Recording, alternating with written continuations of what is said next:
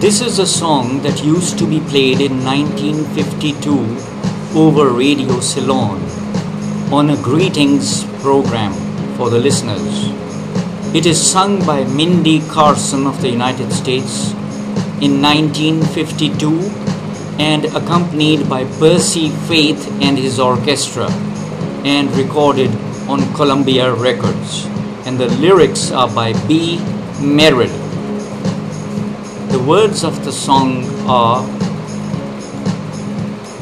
For just a little of your affection sent in my direction and a bit of a tenderness, I'll give you barrels and barrels of roses, tons and tons of sunshine, miles and miles of happiness. I'll try to adhere to the original tune of Mindy Carson as faithfully as I can.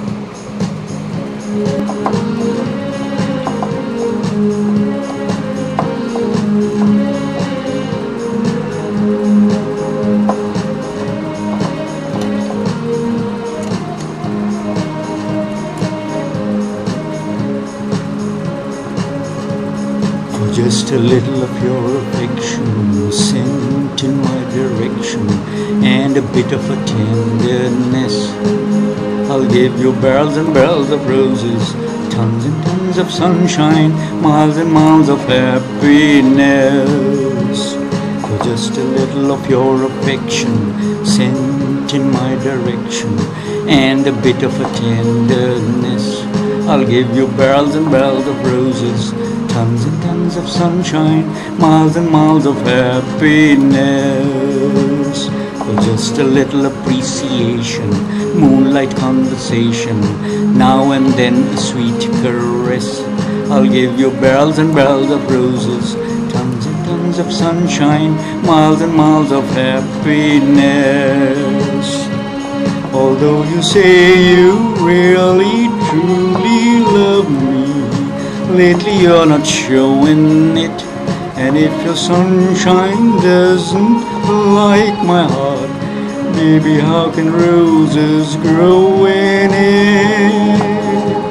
So if you give me a little kissing, something I've been missing, every bit of a tenderness will bring you barrels and barrels of roses, tons and tons of sunshine, miles and miles of happiness.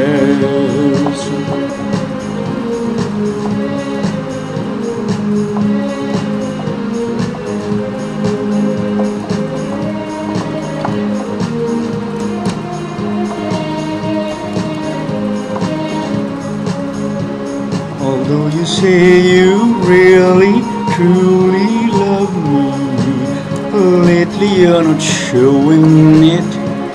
And if your sunshine doesn't like my heart, baby, how can roses grow in it?